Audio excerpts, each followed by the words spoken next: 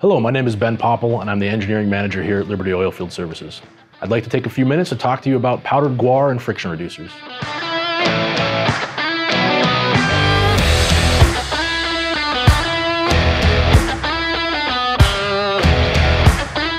Guar and its derivatives have been a mainstay of frac fluid chemistry pretty much since the beginning of hydraulic fracturing. Traditionally, sacks of guar were cut and dumped into frac tanks and circulated in the tank until homogeneous linear gel was established. However, this could lead to problems with poor mixing and bacteria if the gel was left too long. This degraded the fluid system and was very labor intensive. Eventually, guar powder was mixed with mineral oil and a suspension package to create liquid guar slurry. This liquid slurry made mixing on the fly much easier. Crews were able to mix the amount of linear gel they needed for the stage as the job went along. The downside to liquid guar slurries is that instead of just the guar powder being brought to location, the base oil and other additives for it must be mixed at a plant. These extra materials, labor, and transport add cost to the job. This is where modern day on the fly dry mixing units come in. These units allow for mixing on demand like slurry mixing units.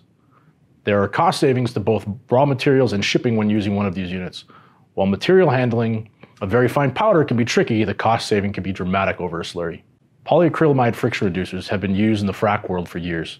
Traditionally, we used emulsions of this polyacrylamide as a liquid additive to help reduce pipe friction and increase rate on slickwater jobs.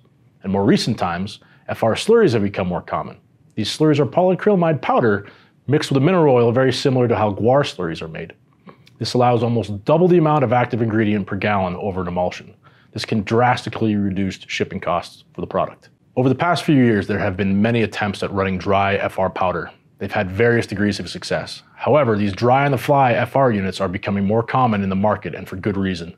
The cost savings for running dry FR can be significant because there is less manufacturing and material costs. Plus, the shipping costs come down. If you'd like to learn more about these or other Liberty technologies, we'd be more than happy to discuss applications with you. Check us out at libertyfrac.com. And as always, keep calm and frac on.